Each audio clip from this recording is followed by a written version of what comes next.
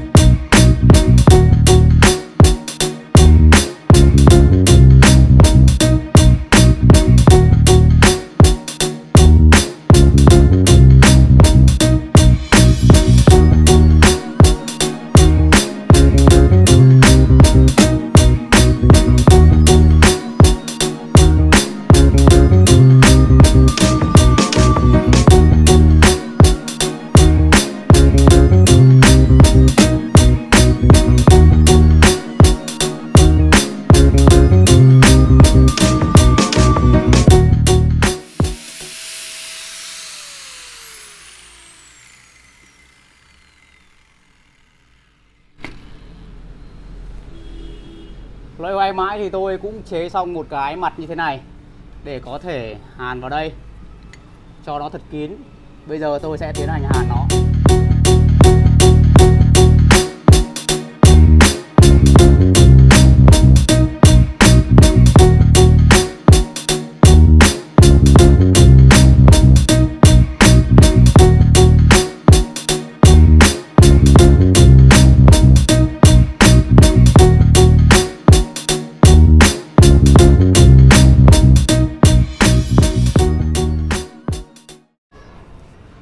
Sau một hồi loay hoay thì tôi cũng đã hoàn thành được cái mặt để ốp vào, phần nắp chắn bảo vệ này để nó chống bùn bắn.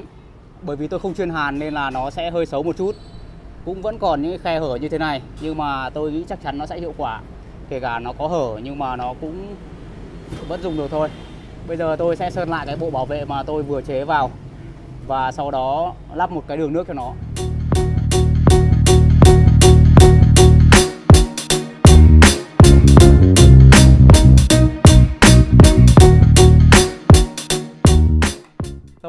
Sơn xong cái phần chụp bảo vệ này và bây giờ tôi sẽ lắp thêm cái vòi nước cho nó.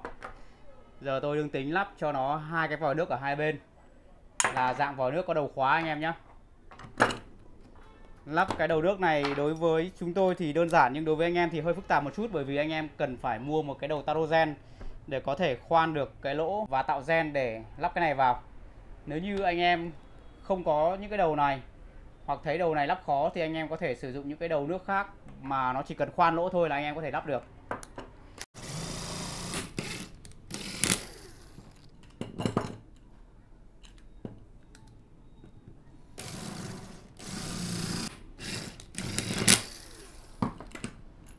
Ok, bây giờ tôi đã tarogen xong hai đầu. Và bây giờ chỉ cần việc lắp cái đầu vòi nước này vào là xong. Rất là nhanh và gọn này, hơi vướng một chút rồi. Đối với những cái hơi vướng như thế này thì anh em cần phải có một cái kìm. Anh em có thể sử dụng kìm hoặc cờ lê nhá. Để vặn cái này lại.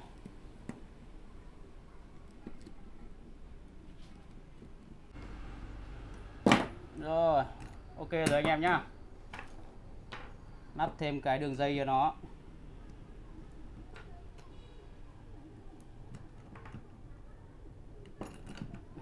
Thế là xong, đường nước. Giờ tôi sẽ lắp nó vào cái máy của tôi.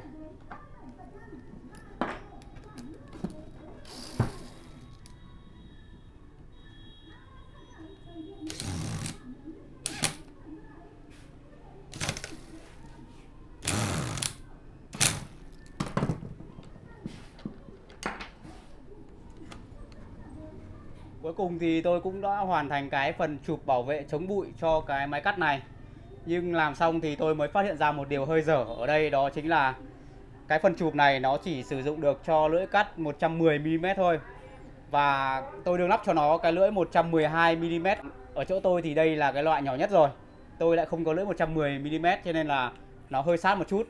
Bây giờ tôi sẽ chạy thử cho anh em xem. Đó.